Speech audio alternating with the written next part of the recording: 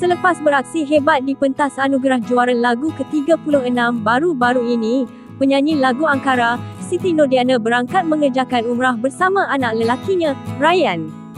Berita gembira itu dikongsikan menerusi laman Instagram penyanyi ini dengan memuat naik gambarnya di lapangan terbang antarabangsa Kuala Lumpur KLIA yang kelihatan sudah bersedia untuk berangkat mengerjakan umrah.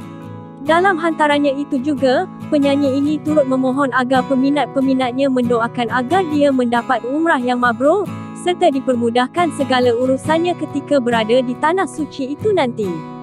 Ramai yang memenuhi ruangan komen hantaran itu, dengan mendoakan yang baik-baik untuk penyanyi kesayangan ramai ini.